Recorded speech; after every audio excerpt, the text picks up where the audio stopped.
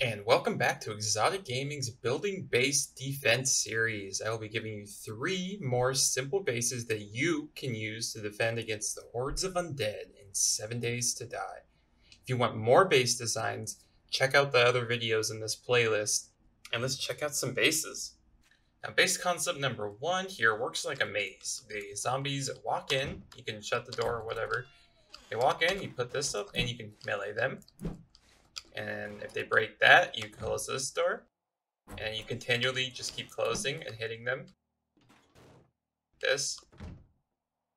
And eventually, they'll get all the way back here. You have an iron door. And what you can do is you put this hatch up and you can hit them while they're right here. You can shoot them or whatever. As they walk through the maze, you can continually keep damaging them and damaging them. And the way the AI pathing works is because of the doors that you're going to have to leave open, they will path the way you want them to.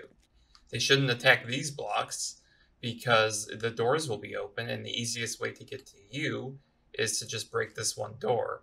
Now, this concept can be expanded out, obviously, to more and more hallways. You can also build it larger if the hordes are breaking in.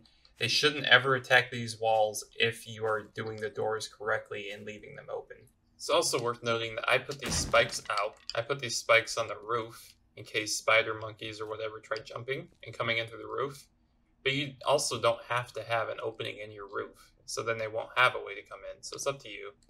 And here's concept number two. I like to call it the Tower of Death. The zombies will path up this mountain every time they fall off, and the thumper that you have placed right here will whack them right back off designed this very simple. So you put blocks out. I use concrete just for stability's sake. They will try to either jump this or they will fall down, and the staircase makes them walk back up and try it again over and over, depending on where you're standing, obviously. Some of them can make this jump. It's a play off the other videos in the playlist where I told you that go three high with this floating method. Instead, I went two, so they can make the jump sometimes, and it helps filter the zombies and the spikes sometimes they'll jump in the spikes. A lot of the times they jump and they just completely miss this and go flying down the mountain. And you can also come up here and shoot them or whatever down this. And there really ever shouldn't be more than a few on here. And at this point you should be able to kill two or three zombies. But not everybody's skilled so if you need it there's the backup plan of a mini bike and a cliff. And you can escape this way. Now, there's, there's really nowhere to go to on this mountain, but you get the idea. If you enjoyed those first two bases, like the video and subscribe.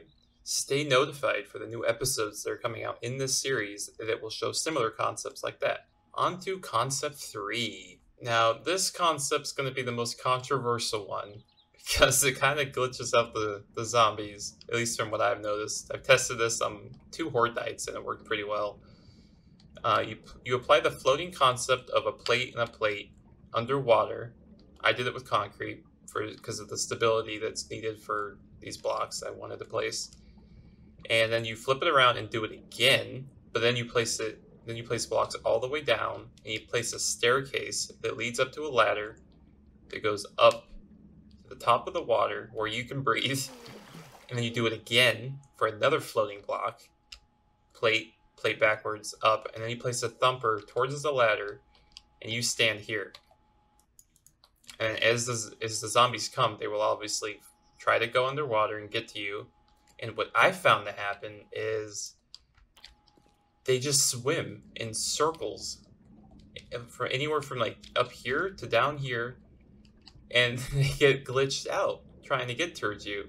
Now you're still gonna have to deal with birds and stuff like that, but it really limits how much they can send at you. I also dug a hole under this one in case they wanted to attack it. Now, sometimes one or two might attack these concrete blocks, but one or two zombies isn't going to break through concrete, nor are they going to break through two layers of concrete. You could also layer it with plates or whatever. Those were just some quick bases you could build pretty much any time in the game to help you survive the Horde Nights if you guys want to see me test these horde bases out and show you how they work, leave a comment for me to do that so I know what you guys want to see. and stay updated on when I release videos by getting subscribed. Thank you for watching and deuces.